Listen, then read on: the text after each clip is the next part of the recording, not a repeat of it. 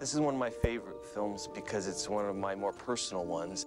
I can remember reading the script and it's embarrassing, weeping. I mean, I cried. You know, I read the thing, I cried. I thought it was one of the most beautiful things I'd ever read in my life. The character of Edward is Tim in a way. I've never seen him so emotional about work before. He saw in me a persona of the unreal, and that intrigued him. He wanted to identify with somebody who was real but unreal. Shot this in combination of in actual location, Florida, and then also in a meat freezer, I think, in Long Beach. We used actual snow. We used